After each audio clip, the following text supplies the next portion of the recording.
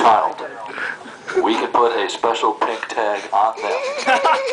Check them into the baggage bin for your convenience. Let us know.